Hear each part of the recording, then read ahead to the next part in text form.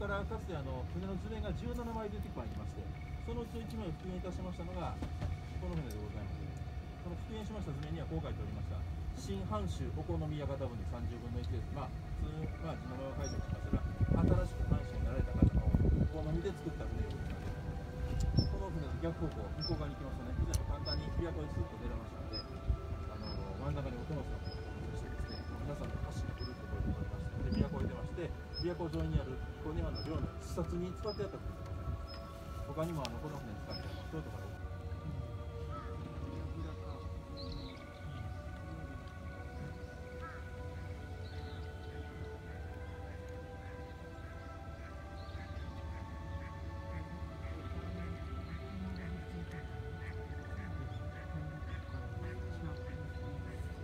そしたらまだ今度はこちら側で彦根城天守が見てまいります。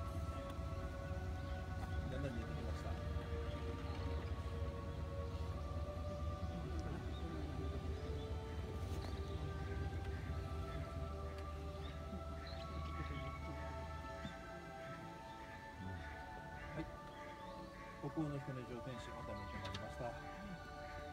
綺麗ですねあのこの彦根城、平成に入ってから全部解体して修理したんですが、その時に大工の無駄札が出てきたんですよ。この大工の無駄札の名前が、さっき言ったあの大津城解体して彦根城に運んだという大工の無駄札が出たものですから、これでこの彦根城もともと大津城なんだっていうことが分かったんですね。もともとこの彦根城は今の浜大津港あたりにだった五層五階の大津城の天守上3層分だけを持ってきたものと言われてたんです。それでその大工の無駄札が出たとこ証明されました。で実はこのもう一つ前の話があの大津市の歴史博物館に文書が残ってましてね鹿島秀吉発給家臣の堀尾義治宛ての文書の消息が残ってますこう書いてます明智光秀の近江坂本城を破却してその材料を使って大津に城を築けていてますつまり本能寺の辺で鹿島秀吉が勝ちまして明智光秀の坂本城は燃えるんです半分ぐらい残半分ぐらい残ってる坂本城を解体して大津に城築けてそれが大津城これを時系列でいきますと、もともと明智光秀の坂本城があって、これを解体して作った具材で作ったのが大津城。で、この大津城天守の5層の上3層分持ってきて彦根山の上に乗っけたのがこの彦根城ということでなりますので、こういうふうにしたら、もともとこれは明智光秀の坂本城の方がだいぶに含まれてるということなんですね。で、3、4年前の大河ドラマに資料出しの時ました。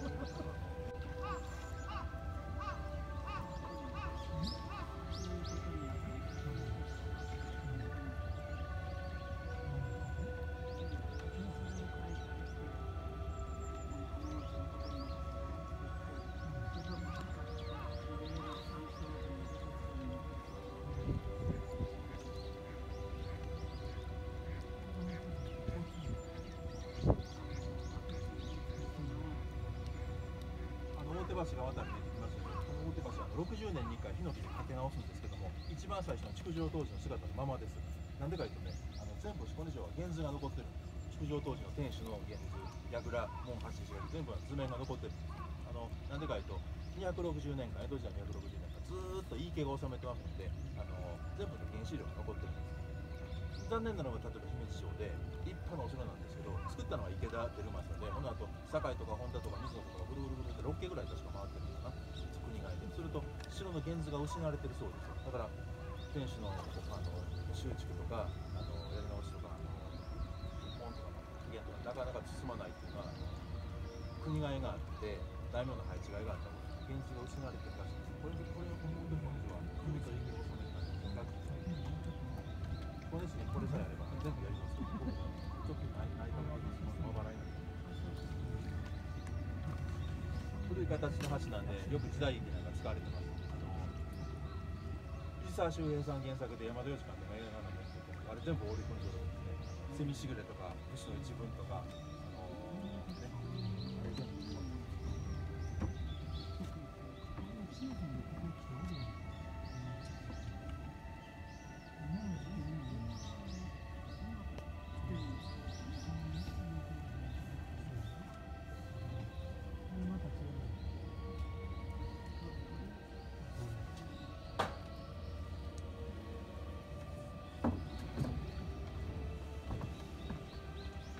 黄昏せいべいの時はあの真田広之さんと見ました物産一番ちょっと冷たくなった今公開になってるあの「燃えよ剣」あれも彦根城で大分ロケやったの岡田准一さん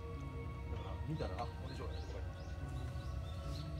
僕もあの昔この船の当番終わって家帰ろうとここ自転車で走ってたそしたらこの橋のたもとにね大型バスが2台ついたんですあれここバス止めたらあかんのにと思ってたら大型バスからね2台からねお侍さんが60人頃つけられましたねあの橋の上でうわーって大ちゃんまでやってカットってかかってしまってパッとピュッと流れてあの彦根城ロケの多い理由の一つがね京都の渦政に近いんですよあの東映松竹の撮影所あの映画村があるところですけどあそこからやったら多分ね京都南インターチェンジだったら1時間10分かここいらぐらいで来れますよあのこれがね何で有利かというとねあの皆さんお侍さん1人作るのにどれぐらい時間かかると思うんですよ俳優さん連れてきて着付けしてカツラかぶしてメイクして刀に本さしてはいお侍さん1人出来上がりってお侍さん1人作るのに30分かかるんですよ。ましてやねあの里見孝太郎さんとか松平健さんの主役級やと1時間半かかるんですよ。ほんとね撮影所で撮りません全員何十人全部逃してまた地方来てまた何十人分作って撮る恐ろしい手間がかかるでしょ。これに比べて彦根がいいところはこういう装置も撮影所で撮って撮った後冷冷房ガンガンにかしたら全員詰め込んでで1時間でここに来て ほんでパーッと撮ってカットってかかった瞬間全員ファーって抜いてまずバスにピュッと京都帰れるとか言うんですよ。だから全員分潰して作る手間が全部省けるって彦根だとほんでねあの僕ね僕ら彦根市民はこの彦根城というのは文化財の塊やと思ってね。国宝やら重要文化財たくさんある文化財の塊やと思って大事にしてますけど映画会社の人にしてみたらあの1時間で行けるところにただでいつでも使えるオープンロケセットがあるって感じですよね。これはもうこれはもうロケが多いと思います Thank you.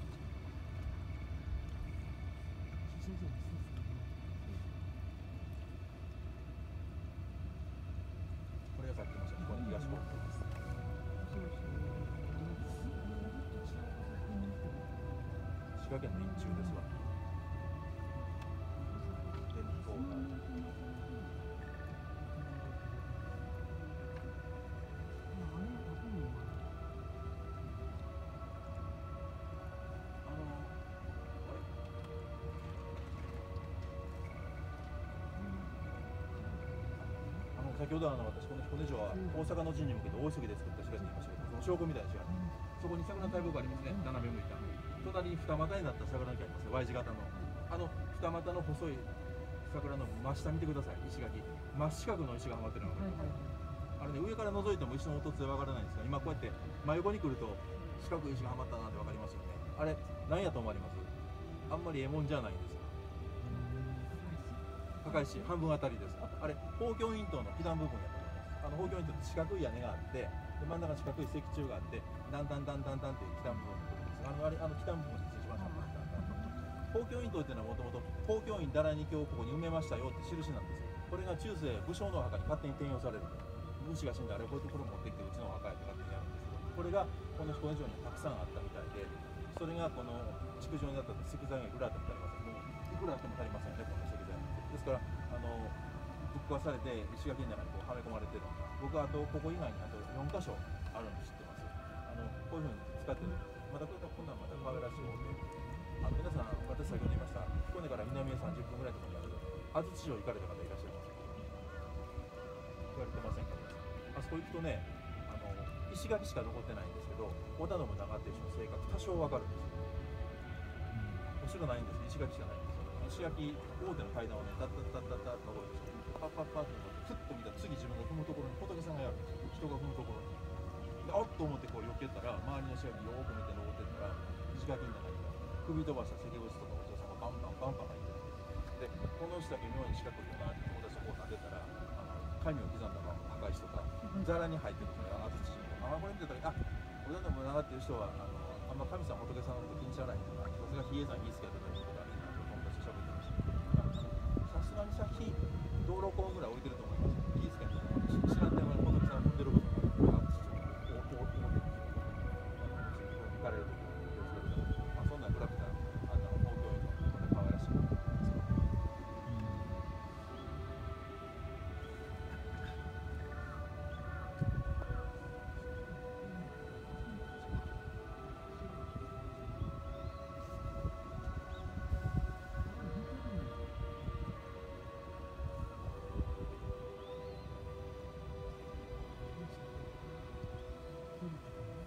じゃあ最後に表門橋降ります。ちょっとお待ちください。はい。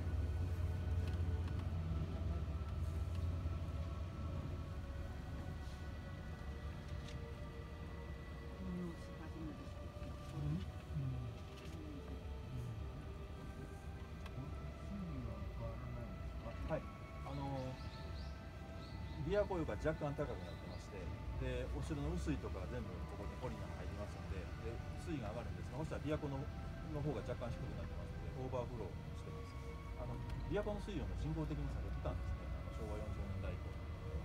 でちょっと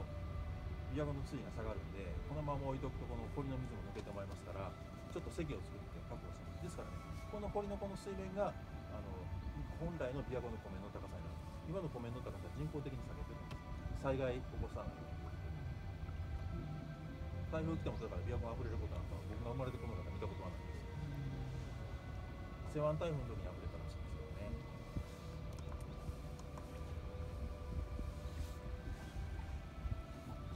それとも琵琶湖へ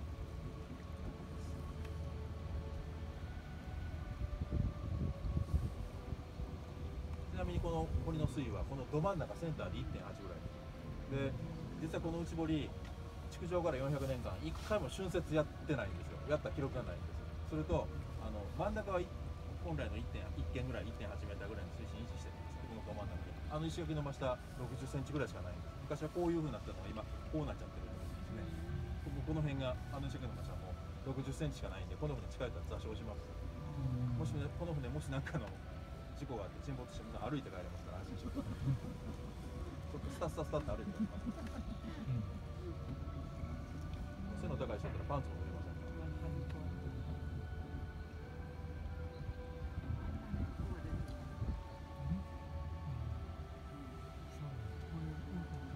この木俣さんとこのお嬢さん僕高校の時同級生です。でおまけに部活で1個上にはねいい直友って人がいたんですよ。あの日分かりですよ4文字中3文字まで一緒なんですよ、あのね徳川四天王いい直政ねついにあの大阪夏夫人が活躍したいい直隆でこのまま幕末まで日本開国したいい直すで明治だと伯爵いい直で昭和で彦根市長9期36年間も主役やったいい直義市長がいらっしゃるこの孫でこのいい直友さんがいらっしゃるで木俣さんのお嬢さんで人柄のお嬢さんで先輩はご藩士でおまけにあの彦根のあの郊外にね高良町東道在市っていう村があるんですよここはねあの通30万石東道高虎が出たところここから東道さんが出てきましたで部活でご覧になってなんだか近頃うちの部活セレブになってきたよなってでな何の話ですかって言ったら「何言ってんだお前木俣男爵家のご令嬢が言ってたないい伯爵家のご子息が言ってたなおまけに東道君だぞ」って言っ本当ですねうちだけなんかプチ学習っぽいですね」あの狭いとこなんでたまに子孫がこうかぶる時なんですよ同じ同世代に、ね、おじまお前も家臣筋だろうってあそういやうちも家臣筋すええとかまあこんなことない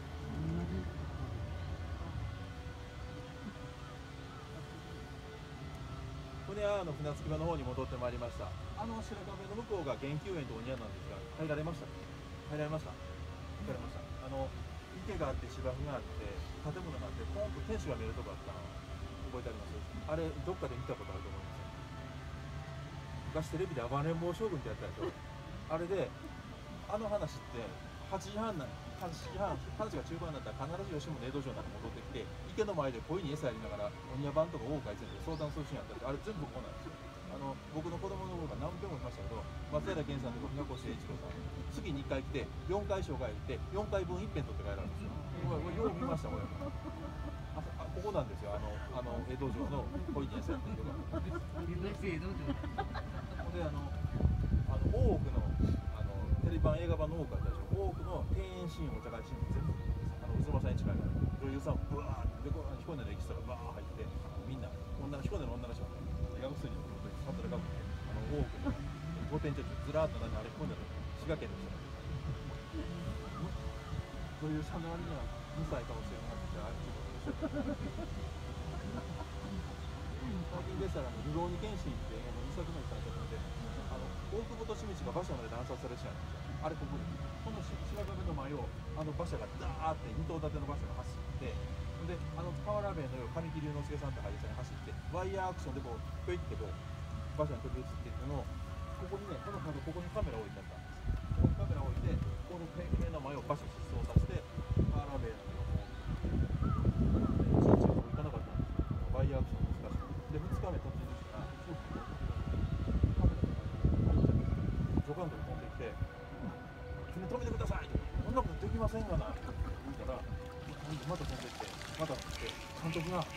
1日のお宅の全運賃出すって言ってますから止めてくださいえー、っと止めますって言われて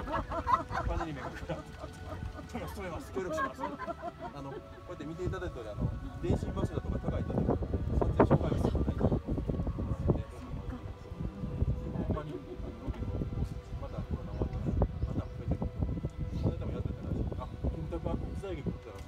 近々